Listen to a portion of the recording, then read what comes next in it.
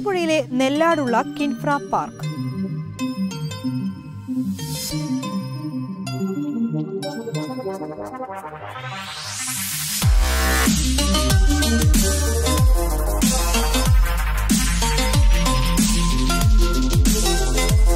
അറുപത്തി അഞ്ച് ഏക്കറോളം വരുന്ന കിൻഫ്ര പാർക്കിൽ അമ്പതോളം പ്രൊഡക്ഷൻ യൂണിറ്റുകളുണ്ട്. അവയിൽ ഏറ്റവും കൂടുതൽ വരുന്നത് ഫുഡ് പ്രോസസിംഗ് യൂണിറ്റുകളാണ്.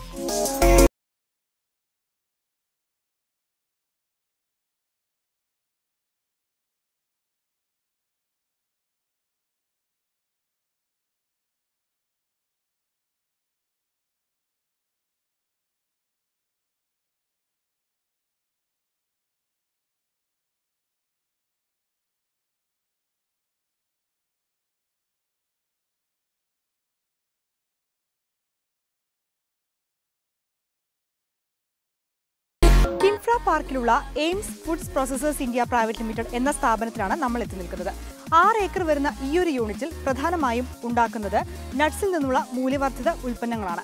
അമേരിക്കയിൽ പ്രവർത്തിക്കുന്ന എയിംസ് ഇന്റർനാഷണൽ എന്ന കമ്പനിയുടെ ഒരു സബ്സിഡറി യൂണിറ്റ് ആയിട്ടാണ് ഈ സ്ഥാപനം ഇവിടെ പ്രവർത്തിക്കുന്നത്.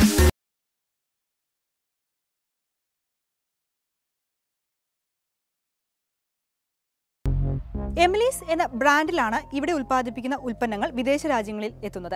അമേരിക്ക ദുബായ് ഉൾപ്പെടെ നിരവധി രാജ്യങ്ങളിലേക്ക് ഇവിടെ നിന്ന് ഉൽപ്പന്നങ്ങൾ കയറ്റുമതി ചെയ്യുന്നുണ്ട്. അത് ഹോൾസെയിലായും ഒപ്പം തന്നെ റീറ്റെയിൽ പാക്കുകളായും പോകുന്നുണ്ട്. നട്ട്സ് ഐറ്റംസിന്റെ പ്രോസസ്സിങ്ങിനും എക്സ്പോർട്ടിങ്ങിനും ഒപ്പം തന്നെ പാരന്റ് കമ്പനിയിൽ നിന്ന് എത്തിക്കുന്ന ചോക്ലേറ്റ് ഐറ്റംസ്. അതിന്റെ പാക്കിങ്ങും എക്സ്പോർട്ടിങ്ങും ഇവിടെ നടക്കുന്നുണ്ട്.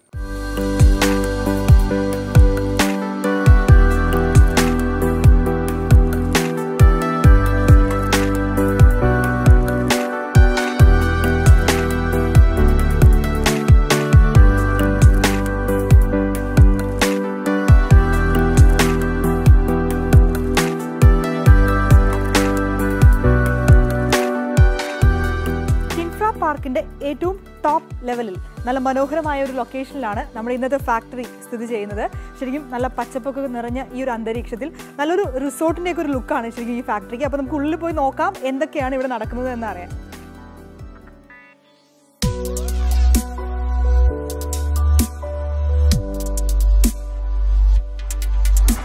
അങ്ങനെ നമ്മൾ മെയിൻ ഫാക്ടറിയിലേക്ക് എൻട്രി ആണ്. ഇവിടെയാണ് ഇതിന്റെ കംപ്ലീറ്റ് പ്രോസസ്സിംഗ് പാക്കിംഗ് എല്ലാം നടക്കുന്നത്. അപ്പോൾ നമുക്ക് നോക്കാം.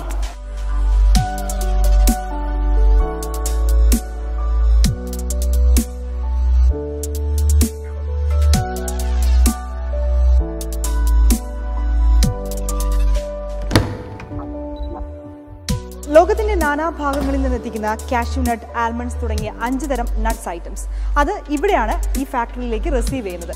അതായത് കണ്ടെയ്നർ വഴി ഇവിടെ എത്തിച്ച് ഇവിടെ ഒരു ഓട്ടോമാറ്റിക്കലി ഇതിങ്ങനെ അപ്പായി പോകും അപ്പോൾ അങ്ങനെ കണ്ടെയ്നറിൽ നിന്ന് നേരെ ഇങ്ങോട്ട് ഇറക്കും. ഇതൊരു കണ്ടെയ്നർ ലെവലിലാണ് ഇവിടെ ഇത് സെറ്റ് ചെയ്തിരിക്കുന്നത്.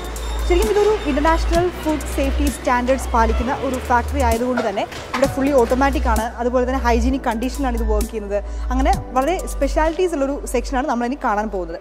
അപ്പോൾ അങ്ങനെ ഇവിടെ ശേഖരിക്കുന്ന റോ മെറ്റീരിയൽസുകൾ അത് ഇവിടെ നിന്ന് നേരെ ക്ലീനിങ് സെക്ഷനിലേക്ക് പോകും. അപ്പോൾ ഇനി വരുന്നത് അതാണ്. നമുക്കിനി അവിടെ പോയി നോക്കാം.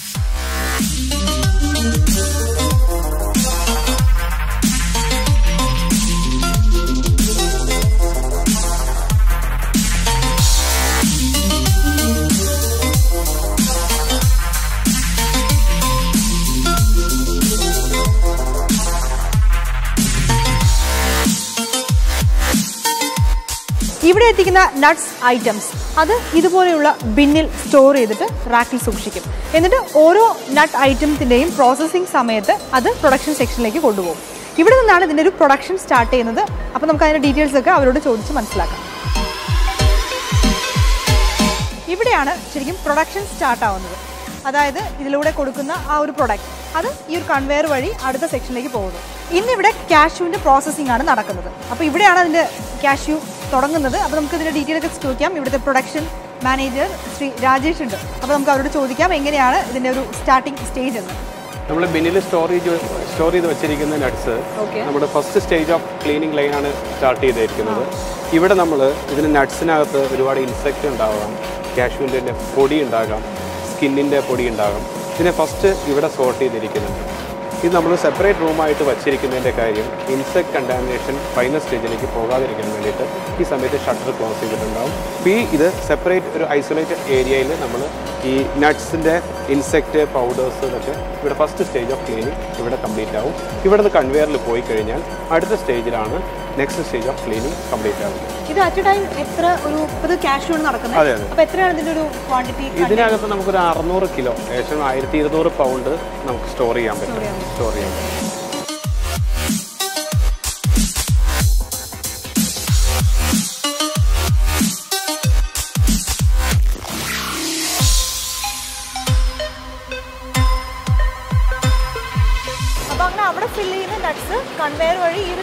അതെ അതെ ഇവിടെ എന്താണ് ഒരു പ്രോസസ് നടക്കുന്നത്? ഇത് സെക്കൻഡ് സ്റ്റേജ് ആണ്. സെക്കൻഡ് സ്റ്റേജ് നമ്മൾ ഫിസിക്കൽ പാർട്ടിക്കിൾസ് ആണ് റിമൂവ് ചെയ്യുന്നത്. ഒന്ന് ടേപ്പറിന്റെ കഷ്ണങ്ങൾ ഉണ്ടാവാം. അതോടൊപ്പം തന്നെ മുടി ഉണ്ടാകാം. പിന്നെ ഒരുപാട് ഫോറിൻ മെറ്റീരിയൽസ് കശുവണ്ടിയുടെ തോടുണ്ടാവാം പിന്നെ ഈ ഒരുപാട് ലേബർ ഓറിയന്റഡ് വർക്കുകളായതുകൊണ്ട് പല സ്ഥലങ്ങളിൽ വരുമ്പോൾ ചിലപ്പോൾ ബീഡി കുറ്റികൾ അങ്ങനെ ഒരുപാട് കാര്യങ്ങൾ നമുക്ക് ഈ വരുന്ന മെറ്റീരിയലിനകത്ത് ഉണ്ടാകും അതൊക്കെ ഇവിടെ അത് ഇവിടെ നമ്മൾ എയർ ബ്ലോ ചെയ്ത് ഇത് സക്ക് ചെയ്ത് എടുത്ത് കളയുന്നുണ്ട്. ഇത് ബ്ലോവറാണ് ബ്ലോവറാണ് ഹൈ പ്രഷറിൽ എയർ ബ്ലോ ചെയ്യുമ്പോൾ ഈ ലൈറ്റ് പാർട്ടിക്കൽസ് വലിച്ചെടുത്ത് നമ്മൾ അവിടെ കളക്ടിങ് ഒരു ചേംബർ ഉണ്ട്. അവിടെ പോയിട്ട് ഡംപ് ചെയ്ത് കിടക്കും. ബാക്കിയുള്ളത് ബാക്കിയുള്ളപ്പോൾ ഫിസിക്കൽ ആദ്യം ഇൻസെക്റ്റിനെ റിമൂവ് ചെയ്തു. ഫിസിക്കൽ കണ്ടൻസിനെ റിമൂവ് ചെയ്തു. Two stages of cleaning is complete ഇതാണ് രണ്ട് സ്റ്റേജായിട്ട് ഇത് മൂന്നാമത് അടുത്ത സ്റ്റേജാണ് വരുന്നത്. മൂന്നാമത്തെ സ്റ്റേജ് എന്ന് പറഞ്ഞാൽ ഇത് നമ്മുടെ ഈ ഇതിനകത്ത് കശുവണ്ടിക്കകത്ത് തന്നെ ചിലപ്പോൾ പുഴുവുള്ള ഐറ്റംസ് ഉണ്ടാകാം. ഒരുപാട് ഫിസിക്കൽ ഈ നട്ട്സിനകത്ത് കുറേ ഡാമേജ്ഡ് ഐറ്റംസ് ഉണ്ടാകും. ഇതിനെയൊക്കെ ആളുകൾ നിർത്തിയിട്ട് നമ്മൾ നമ്മൾ ക്വാളിറ്റി മീറ്റ് ചെയ്യാൻ വേണ്ടിയിട്ട് പിക്ക് ചെയ്ത് മാറ്റുന്നത്. ആ പിക്ക് ചെയ്ത് മാറ്റുന്ന സാധനം ഈ കാണുന്ന ഗ്യാഫിക്കയുടെ താഴേക്ക് ഇട്ടത് ഒരു കളക്ടിങ് ഏരിയ ഉണ്ട് അവിടെ കളക്ട് അത് വേസ്റ്റാണ് ആ വേസ്റ്റ് നമുക്ക് റീപ്രൊഡ്യൂസ് ചെയ്ത് എടുക്കാൻ പറ്റും. പല മെറ്റീരിയലായിട്ട് മാറ്റി എടുക്കാൻ പറ്റുമെങ്കിൽ തന്നെ നമ്മുടെ സ്പെസിഫിക് ആയിട്ടുള്ള റിക്വയർമെന്റ് അനുസരിച്ചിട്ട് നമ്മൾ യൂസ് ചെയ്യും. ഇനി ഇത് ഇവിടുന്ന് നേരെ ഇത് അടുത്ത സ്റ്റേജ് എന്ന് പറഞ്ഞാൽ അടുത്ത് തൊട്ടടുത്ത് തന്നെ മെറ്റൽ ഡിറ്റക്ടർ ഉണ്ട്. അതും ക്ലീനിങ് പ്രോസസ്സാണ് കാരണം ഫിസിക്കൽ പാർട്ടിക്കിൾസ് തന്നെ മെറ്റൽ പാർട്ടിക്കിൾസ് ഉണ്ടാവാം. പിന്നും ഉണ്ടാവാം. കാരണം ലേഡീസ് ആണ് കൂടുതലും വർക്ക് ചെയ്യുന്നത്. പിന്നെ മുട്ട് സൂചി സ്ലൈഡ് എന്തെങ്കിലുമൊക്കെ മെറ്റീരിയൽസ് ഉണ്ടെന്നുണ്ടെങ്കിൽ അവിടെ മെറ്റൽ ഡിറ്റക്ടറിൽ സെൻസ് ചെയ്യും. സെൻസ് ചെയ്യുമ്പോൾ ആ ഏരിയയിലെ മെറ്റീരിയൽ താഴേക്ക് ഡംപ് ചെയ്ത് മാറി. അതിന്റെ cleaning process process is almost finish അതിനുശേഷം final സ്റ്റേജായ packing You know, oh, yeah. I know.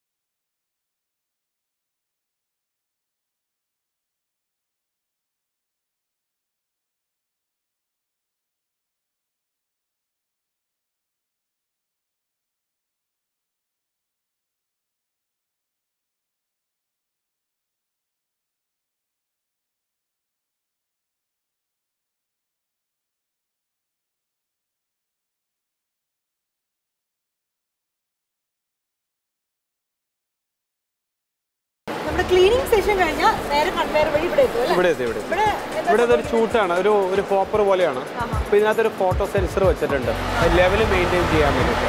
ഒരു കറക്റ്റ് ലെവലിൽ നമ്മുടെ മെറ്റീരിയൽ വന്ന് കിടക്കുമ്പോൾ ഈ ഇത് ഫോട്ടോ സെൻസർ കട്ടായി കൺവെയർ സ്റ്റോപ്പായി അവിടെ നിന്നുള്ള ഫീഡിങ് സ്റ്റോപ്പ് ചെയ്യും. അതാണ് പ്രോസസ് കംപ്ലീറ്റിംഗ് സ്റ്റേജ് അതിനുശേഷം ഇവിടുന്ന് നമ്മൾ ഈ കാണുന്ന പൗച്ചിലിക്കടെ മെറ്റീരിയൽ കളക്ട് ചെയ്ത് കഴിയുമ്പോൾ ഇവിടെ ലെവൽ താഴും കൺവെയർ വർക്ക് ചെയ്യും. വീണ്ടും ഡംപ് ചെയ്യും. അപ്പോൾ ആ ലെവൽ മെയിന്റെയിൻ ചെയ്ത് നമ്മളിവിടെ അമ്പത് പൗണ്ട് അല്ലെങ്കിൽ ഇരുപത്തഞ്ച് പൗണ്ട് വട്ടവർ ഏതാണ് ബൾക്ക് പാക്കിംഗ് ആണ് അപ്പം ഇതിനകത്ത് ഫ്ലെക്സി പാക്കിംഗ് എന്ന് പറയും. അപ്പോൾ ഈ വരുന്ന സാധനം ഏത് ഇത് അമ്പത് പൗണ്ടിന്റെ ഒരു മെറ്റീരിയലാണ് അപ്പോൾ ഇതിനകത്ത് വന്ന് ബൾക്കായിട്ട് കിടക്കുകയാണ് അപ്പം നമുക്കിവിടെ ഒരു എന്താ ഒരു ഒരു- വൈബ്രേറ്റർ ഉണ്ട്. വൈബ്രേറ്റർ വെച്ചിട്ട് ഇത് വൈബ്രേറ്റ് ചെയ്ത് കഴിയുമ്പോഴേക്കും ഇത് അതെ അതെ അതെ അതെ. ഇപ്പോൾ ഇത് സെറ്റ് ആയി കഴിഞ്ഞിട്ട് സാധനം മടക്കി നമ്മൾ ഈ കാണുന്ന മെഷീനകത്തേക്ക് പോകുകയാണ് അപ്പൊ പിന്നെ ഇതിനകത്ത് ഇവിടെ ഒരാൾ വേണ്ടി വരും. അയാൾ ഇത് ഇതേപോലെ കൊണ്ടുവന്ന് ഇത് വാക്വം സീലിംഗ് മെഷീനാണ് വാക്വം സീലിംഗ് മെഷീൻ അപ്പോൾ ഇതിനകത്തുനിന്ന് ഇനിഷ്യലി ഇതിനകത്ത് പൗച്ചിനകത്തുള്ള വാക്വം മുഴുവൻ എടുത്തു കളയും. എയർ ഇതിനകത്ത് എയർ എടുത്ത് കളഞ്ഞതിന് ശേഷം ഇതിനകത്ത് കാർബൺ ഡൈ ഓക്സൈഡ് രണ്ട് ഇതുണ്ട്. കാർബൺ ഡൈ ഓക്സൈഡും നൈട്രജനും നമ്മൾ ഫ്ലഷ് ചെയ്യുന്നുണ്ട്. അതിനൊരു പെർസെന്റേജ് നമ്മൾ പറയുന്നുണ്ട്. കാരണം അറ്റ്മോസ്ഫിയർ ഇതിനകത്തുള്ള ഓക്സിജന്റെ പെർസെന്റേജ് ഫൈവ് പെർസെന്റേജിൽ താഴേക്ക് വന്നാൽ ഇൻസെക്റ്റിന് ഗ്രോത്ത് ഇല്ലാത്ത രീതിയിലാണ് ഇത് ചെയ്യുന്നത്. ഇൻസെക്റ്റ് വളരെ അല്ലെങ്കിൽ അഞ്ച് ശതമാനം ഓക്സിജന്റെ ലെവൽ അഞ്ച് ശതമാനത്തിൽ താഴെയാണെങ്കിൽ അതിനകത്ത് കാർബൺ ഡൈ ഓക്സൈഡ് കൂടിയാണ് ഫ്ലഷ് ചെയ്യുന്നത്. അപ്പോൾ ഇത് അതിനുശേഷം. ഇപ്പൊ ഇതിലേക്ക് കാർബൺ അല്ല ഇപ്പൊ ഇപ്പൊ വാക്വം വലിച്ചുകൊണ്ടിരിക്കുകയാണ്. വലിച്ചുകൊണ്ടിരിക്കുന്നത് വാക്വം വലിച്ച ഇത് അറുന്നൂറ്റി അമ്പത് എഴുന്നൂറ്റി ഇരുപത് വരെയാണ് അറ്റ്മോസ്ഫിയറിക് പ്രഷർ വരുന്നത്. അതിനെടുത്ത് കളഞ്ഞതിന് ശേഷം നമ്മളിപ്പോൾ first carbon dioxide flush ചെയ്തുകൊണ്ടിരിക്കുകയാണ്. Second stage nitrogen nitrogen flush ചെയ്ത് ഒരു ലെവൽ എത്തിക്കഴിയുമ്പോൾ സ്റ്റക്കാണ് സ്റ്റക്കായി കഴിയുമ്പോഴേക്കും ഇത് ആ മോൾഡ് ആ ഷേപ്പിലേക്ക് നമ്മുടെ മെറ്റീരിയൽ ഒരു ബാർ പോലെ ക്രിയേറ്റ് ചെയ്യാം അപ്പോൾ അതുകൊണ്ടാണ്? ഒരു കാർട്ടൺ ബോക്സിനകത്ത് പ്രോപ്പറായിട്ട് സ്റ്റാക്ക് ചെയ്യാൻ പറ്റും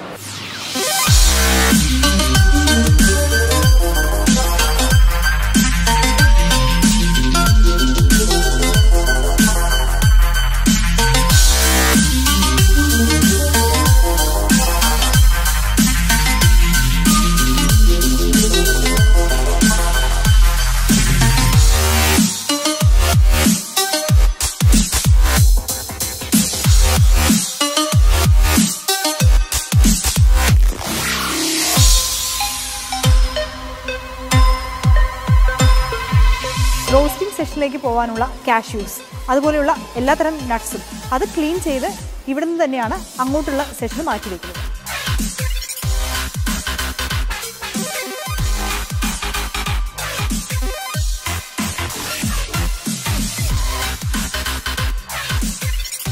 ഇതാണ് ഇവിടുത്തെ റോസ്റ്റിംഗ് ഏരിയ നമ്മളവിടെ കണ്ടു ക്ലീൻ ചെയ്തു വരുന്ന കാഷ്യൂ നട്ട് അതുപോലെയുള്ള എല്ലാ നട്ട്സ് ഐറ്റംസും റോസ്റ്റ് ചെയ്യുന്നത് ഇവിടെ വെച്ചാണ്. അത് അവിടെ നിന്ന് കൊണ്ടുവന്ന് ഇവിടെ ഈ ഒരു സ്പേസിൽ വെച്ച് അത് റോസ്റ്റ് ചെയ്തു. റോസ്റ്റ് ചെയ്തിട്ട് നേരെ വരുന്നു അത് ഡ്രെയിൻ ചെയ്യുന്നു കൂൾ ചെയ്യുന്നു പിന്നെ ലാസ്റ്റ് അത് പുറത്തേക്ക് വരുന്നു. ഇവിടെ നിന്ന് അത് നെക്സ്റ്റ് സെഷനിൽ പോയിട്ട് അവിടെ അത് പാക്ക് ചെയ്തെടുക്കുന്നു. അപ്പോൾ ആ ഒരു കംപ്ലീറ്റ് പ്രോസസ്സ് റോസ്റ്റിംഗ് പ്രോസസ്സ് നടക്കുന്നത് ഈ ഒരു ഫുൾ സെക്ഷനിലാണ്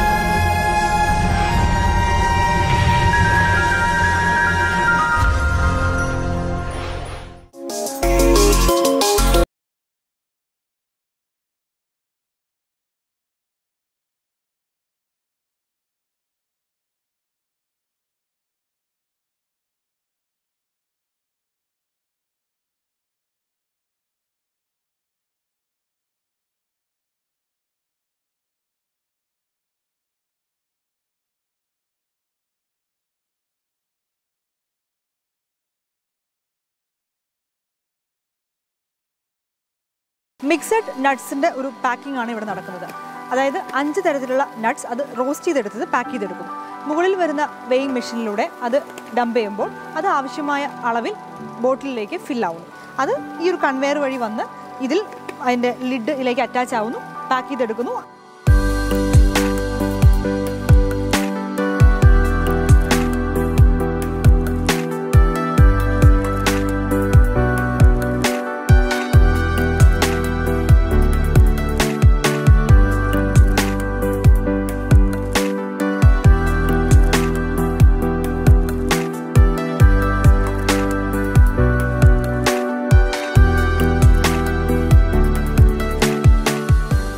സെക്ഷനിൽ കംപ്ലീറ്റ് പാക്കിംഗ് സെക്ഷൻ അതായത് റീറ്റെയിൽ മാർക്കറ്റിലേക്ക് പോകുന്ന പാക്കിംഗ് സെക്ഷൻ അല്ലേ? ഓക്കെ അതിന്റെ ഒരു പ്രോസസ്സ് എന്ന് പറയുമോ ബേസിക്കലി നമ്മളിപ്പോൾ അവിടെ കണ്ടല്ലോ റോ നട്ട്സ് ക്ലീൻ ചെയ്യുന്ന പ്രോസസ്സ് നമ്മൾ കണ്ടു. അത് കഴിഞ്ഞിട്ട് അത് റോസ്റ്റ് ചെയ്യുന്ന പ്രോസസ്സ് കണ്ടു. ഇനി അവിടെ നിന്ന് അത് നമ്മൾ അവിടെ ആ ആ കണ്ട രീതിയിലുള്ള വലിയ സൈലോസ് സൈലോസ് എന്ന് പറഞ്ഞു കഴിഞ്ഞാൽ അഞ്ഞൂറ് അഞ്ഞൂറ് കിലോ വരെ കപ്പാസിറ്റി ഉള്ള പല വലുപ്പത്തിലുള്ള വലിയ സൈലോസ് കണ്ടെയ്നേഴ്സ് കണ്ടെയ്നേഴ്സിനകത്ത് അത് കീപ്പ് ചെയ്ത് അതിലൊരു കൺവെയർ ലൈൻ ഉണ്ട് അവിടെ. അവിടെ നേരെ ഇങ്ങോട്ട് വരും. ആ കൺവെയർ ലൈനിൽ ഫീഡ് ചെയ്ത് കഴിഞ്ഞ് കഴിഞ്ഞാൽ ബക്കറ്റ് എലിവേറ്റർ വഴി മൾട്ടി ഹെഡ് വെയർ എന്ന് പറയും മുകളിലിരിക്കുന്നത് അതൊരു ജാപ്പനീസ് മെഷീനറിയാണ് അതിന്റെ പ്രിസിഷനിൽ ലൈക്ക് ഈവൻ സ്വർണം വരെ തൂക്കാമെന്നാണ് അവർ പറയുന്നത് ലൈക്ക് ദ മാനുഫാക്ചറേഴ്സ് അത്ര പ്രിസിഷൻ ആയിരിക്കും. സോ ആ മെഷീൻ നമ്മൾ സെറ്റ് ചെയ്യുന്ന ടാർഗറ്റ് വെയിറ്റ് എത്രയാണോ ആ ടാർഗറ്റ് വെയിറ്റിനനുസരിച്ചിട്ടുള്ള ക്വാണ്ടിറ്റി ഡിസ്പെൻസ് ചെയ്തുകൊണ്ടിരിക്കും ഡിസ്പെൻസ് ചെയ്യുന്ന സ്പീഡ് എന്ന് പറഞ്ഞാൽ ഒരു മിനിറ്റിൽ ഏതാണ്ട് എൺപത് തൊട്ട് നൂറ്റി ഇരുപത് തവണ വരെ അത് ഡിസ്പെൻസ് ചെയ്യാനുള്ള കപ്പാസിറ്റി ഉണ്ട് അത്രയും നമുക്ക് പാക്ക് ചെയ്തെടുക്കാൻ പറ്റും. അത്രയും സ്പീഡിൽ അത് പാക്ക് ചെയ്യും.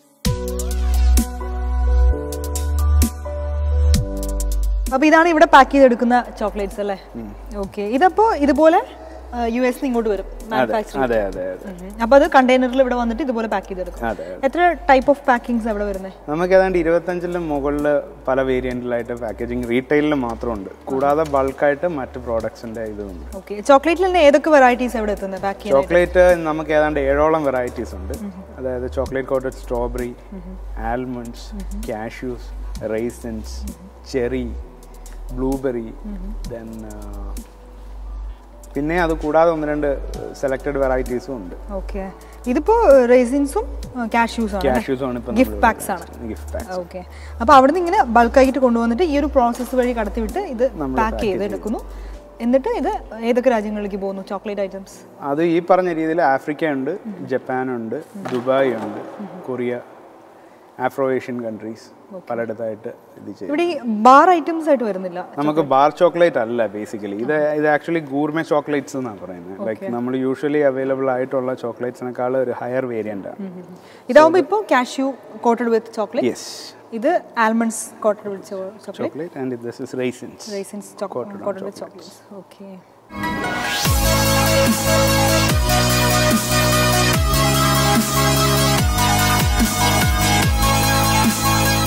ഇവിടെ പ്ലാസ്റ്റിക് കണ്ടെയ്നേഴ്സ് ഉണ്ടാക്കുന്നു അല്ലേ? അതെ ഇതിന്റെ ഇത് പി ടി ജാഴ്സ് എന്ന് പറയും.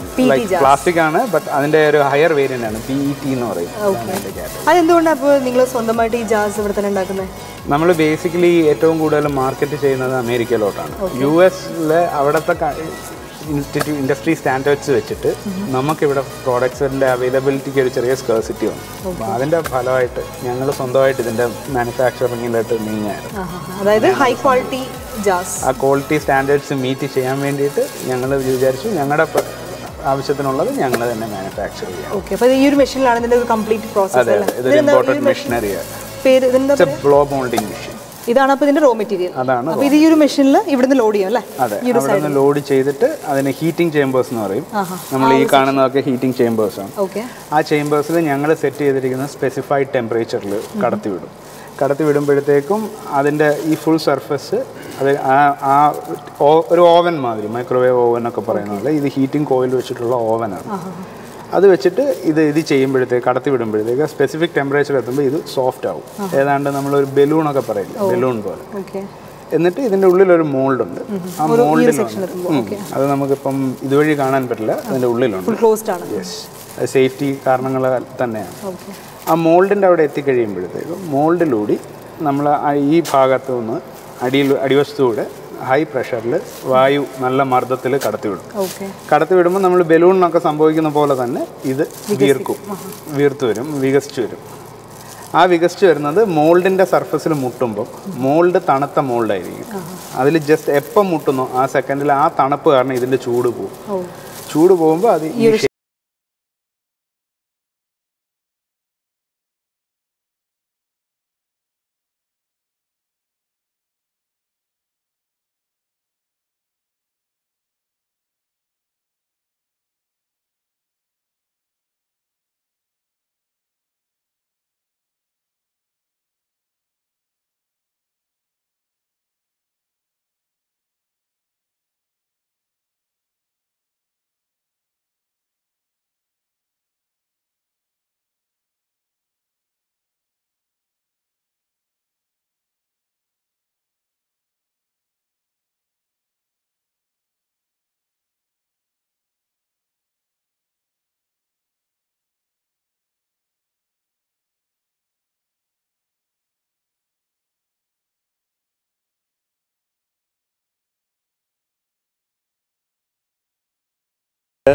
Dubai Korea Hong Kong Middle East Middle East all all Asian countries then U S. ഇതാണ് ഞങ്ങളുടെ മെയിൻ മാർക്കറ്റ്.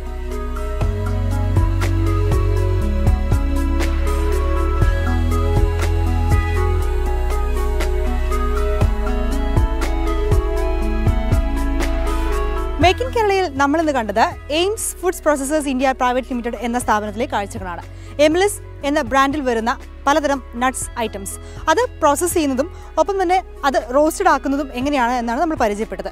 ഇത് ശരിക്കും ഒരു അമേരിക്കൻ ബേസ്ഡ് കമ്പനി ആയതുകൊണ്ടും എക്സ്പോർട്ട് ഓറിയന്റഡ് യൂണിറ്റ് ആയതുകൊണ്ടും നമുക്കിവിടുത്തെ പൂർണമായ കാഴ്ചകളൊന്നും ഒപ്പിയെടുക്കാൻ കഴിഞ്ഞിട്ടില്ല. കാരണം ഒരുപാട് റെസ്ട്രിക്ഷൻസ് ഉണ്ട് ഹൈജീനിക് കണ്ടീഷനിലാണ് ഇവിടുത്തെ പ്രൊഡക്ഷൻ നടക്കുന്നത് എന്നതുകൊണ്ട് തന്നെ നമുക്ക് പല ഏരിയയിലേക്കും കടക്കാൻ പറ്റില്ല. പ്രധാന പ്രൊഡക്ഷൻ നടക്കുമ്പോൾ നമുക്കതൊന്നും കവർ ചെയ്യാനും പറ്റില്ല. എന്തായാലും ഉള്ള പരിമിതികൾക്കുള്ളിൽ നിന്നുകൊണ്ട് തന്നെ മാക്സിമം നമ്മളിത് നിങ്ങളിലേക്ക് എത്തിക്കാൻ ശ്രമിച്ചിട്ടുണ്ട്. വ്യത്യസ്തമായ മറ്റൊരു നിർമ്മാണ കാഴ്ചയുമായി മേക്ക് ഇൻ കേരള വീണ്ടും അടുത്തയാഴ്ച. Till then this is me Shruti signing off